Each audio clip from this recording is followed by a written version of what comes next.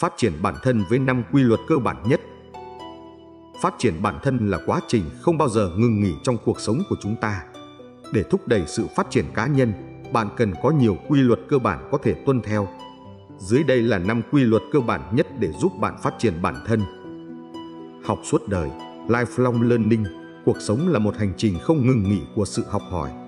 Bạn hãy cam kết học hỏi, không chỉ qua hình thức học tập truyền thống mà còn qua việc đọc sách, tham gia khóa học, tìm hiểu từ người khác và trải nghiệm cuộc sống.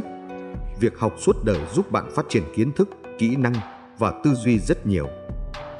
Xây dựng kỹ năng quản lý thời gian, time management, quản lý thời gian hiệu quả là yếu tố quan trọng trong việc phát triển bản thân. Bạn cần xác định ưu tiên và sử dụng thời gian một cách hiệu quả để đảm bảo bản thân có đủ thời gian cho công việc, học tập, gia đình và thời gian riêng. Thực hiện mục tiêu cụ thể, set specific one, bạn cũng nên ra những mục tiêu cụ thể và đo đạc được để theo đuổi. Mục tiêu giúp bạn tập trung nỗ lực và định hình hành trình phát triển cá nhân, đảm bảo rằng mục tiêu của bạn có tính cụ thể, đo lường được, có khả thi, có ý nghĩa và có thời hạn.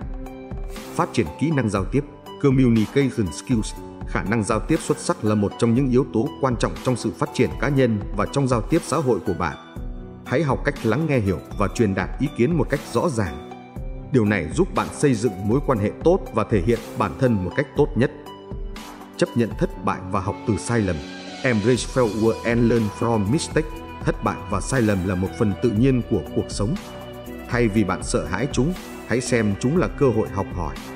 Hãy tự tin đối mặt với thất bại, tìm hiểu lý do tại sao chúng xảy ra và sử dụng kinh nghiệm này để phát triển và tiến bộ.